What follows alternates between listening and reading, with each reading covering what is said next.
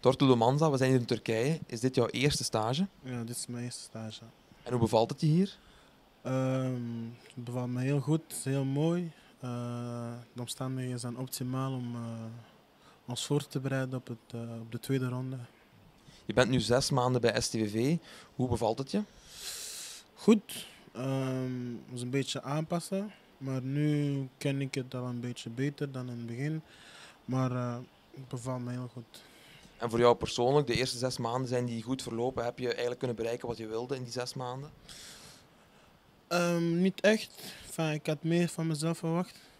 Uh, ik dacht dat ik meer doelpunten ging scoren, enfin, meer beslissender ging zijn. Maar ja, daarvoor is er een tweede ronde en daar moet ik er alles aan doen om dat te beteren. Dus je verwacht dat je nog sterker zal zijn in de terugronde? Ja. Wat verwacht je eigenlijk nog van de club STVV? Waar gaan we eindigen dit jaar? Uh, zo hoog mogelijk. Ik denk dat wij uh, een hele goede groep hebben. Ik denk dat we nu al zes, zes maanden samenspelen en dat wij uh, nu moeten alle plaatjes in, elkaar passen. Oké, hartelijk dank.